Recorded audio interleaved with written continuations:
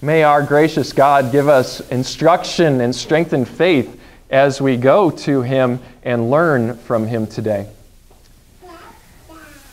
One of the most basic things that we understand as Christians who look to Jesus Christ as our Savior is that our lives are not our own. That as Christians, it is our great desire to go out and live lives that are pleasing to our God, right? It's called sanctification, the Christian life.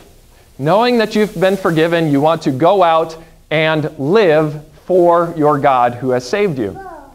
And sanctification is a very important part of who we are as Christians.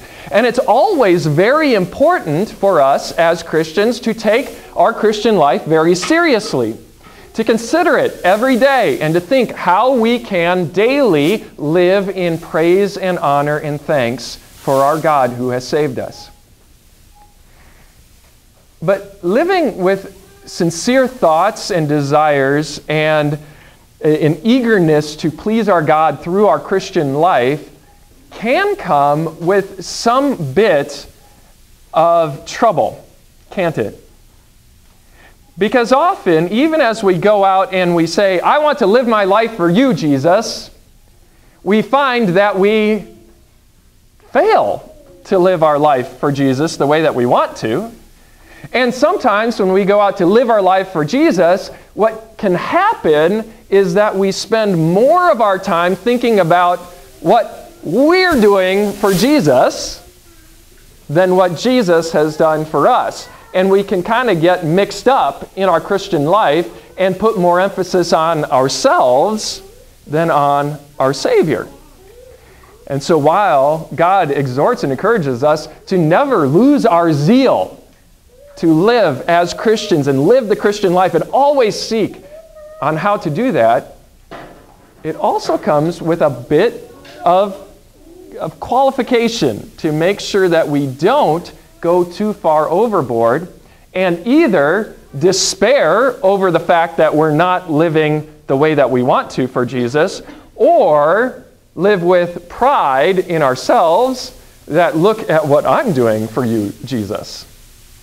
And there's a, there's a very clear, uh, narrow road that we follow when we live our Christian life.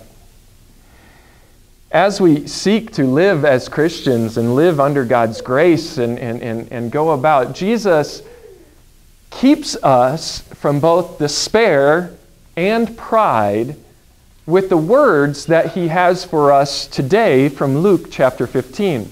They're really fundamental words of instruction for us so that we understand our whole place in Jesus' kingdom and our whole lives in Jesus' kingdom. So I'd like for you to take out your service folder, and I'm going to read the entire section for you, and then we'll go back and we'll talk about it and see these words of instruction that Jesus has for us. Now, the tax collectors and sinners were all gathering around to hear him. But the Pharisees and the teachers of the law muttered, This man welcomes sinners and eats with them. Then Jesus told them this parable Suppose one of you has a hundred sheep and loses one of them. Does he not leave the 99 in the open country and go after the lost sheep until he finds it? And when he finds it, he joyfully puts it on his shoulders and goes home. Then he calls his friends and neighbors together and says, Rejoice with me, I have found my lost sheep. I tell you that in the same way, there will be more rejoicing in heaven over one sinner who repents than over 99 righteous persons who does not need to repent. Or suppose a woman has 10 silver coins and loses one. Does she not light a lamp, sweep the house, and search carefully until she finds it? And when she finds it, she calls her friends and neighbors together and says, Rejoice with me, I have found my lost coin. In the same way, I tell you, there is rejoicing in the presence of the angels of God over one sinner who repents. As we look at these words from our God, we recognize the situation that Jesus was in at this time. It was a familiar situation. If you read the Gospels, you see, you see this happen time and time again. Jesus is out there preaching and teaching like he always did, and there are two camps of people that are following him. On the one hand, you have the camp of the Pharisees and the teachers of the law. The Pharisees and teachers of the law were the religious leaders of the time. They were the ones who were around God's word every single day, and they were the ones that were out there to teach the people God's word. They were very religious people, extremely religious people. And for that, they had something going for them being religious people, always in God's Word and taking it seriously. But the problem that the Pharisees had was that they weren't looking correctly into God's Word. You see, though they were very religious and they surrounded themselves with God's Word, what they focused on in God's Word and what they thought was the point of God's Word was the law. And that was all that they focused on law, law, law. It was all about how I am doing. What am I doing to please God? And they went so far as to take God's law and add to it several hundred more laws. Because they thought, well, if God's law is good, if I add these other laws that, that sort of have this godly sphere attached to them, then I can even be better. And so the Pharisees spent all their days studying God's law and saying, how can I live for God? The problem is, is that they weren't even looking at God's law rightly. Because God's law rightly comes with condemnation, doesn't it? When you truly look into God's law and you truly seek to obey God's law, what you finally realize is that you can't obey God's law. His standard for obedience is perfection. And no matter how hard you try, no matter how hard, how hard I try, no matter how hard those Pharisees tried, they could not reach that standard of perfection. But see, that didn't matter to the Pharisees. Because what they decided was that God's standard of perfection really wasn't the true standard. The true standard was really just as long as I'm better than other people, or just as long as I'm trying really hard. Then God will be okay with me because, after all, if you compare me to other people, I'm actually pretty good. And God wouldn't really ask me for perfection. He just asked me to try as hard as I can. And so the Pharisees, though they were very religious and they surrounded themselves with God's Word, were looking at God's Word in an improper way, and they were becoming prideful in themselves because they had an overemphasis on the works that they were doing. The other side of the spectrum, following Jesus, you had the tax collectors and sinners, in quotes. The tax collectors and sinners were about as far the opposite side of spiritual, spiritual life as the Pharisees were. The tax collectors were Jews who were sellouts because they got hired by the Romans to uh, collect the taxes from the Jewish people. And of course, the Jewish people said, We're God's people. We don't want to have to pay taxes to anybody else, especially these Gentile people. And now our own brothers are out there getting hired by these, by these Romans. And not, in even more, they're not just collecting the taxes that the Romans are asking, these sellouts are actually being dishonest and they're asking for more than what the Romans so that they could put it in their own pockets.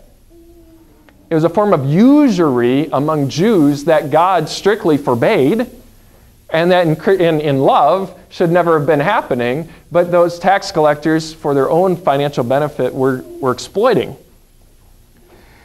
And then you had the sinners. And when the Bible uses this term sinners, in quotes as you see it, it's referring to any number of class of individual that was recognizably understood within the Jewish culture.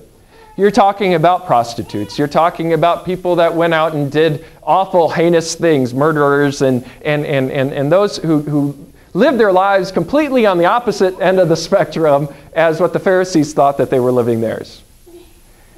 The, and these were people who just went out and did heinous things and showed themselves that they were not really taking God seriously at all.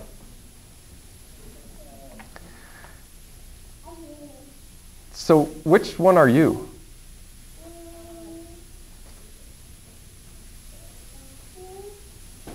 Are you a Pharisee?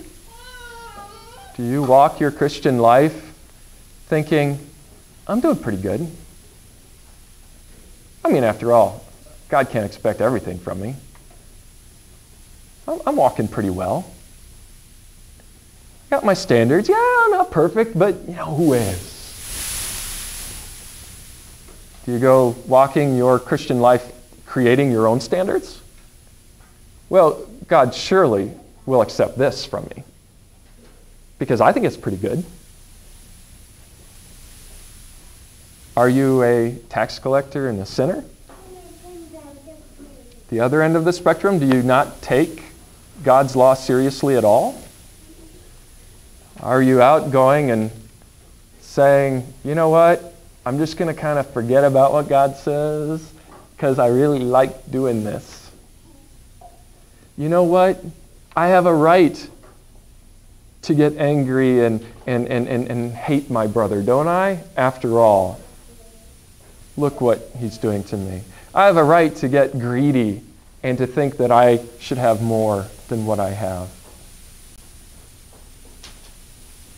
Which are you? Neither is good, is it?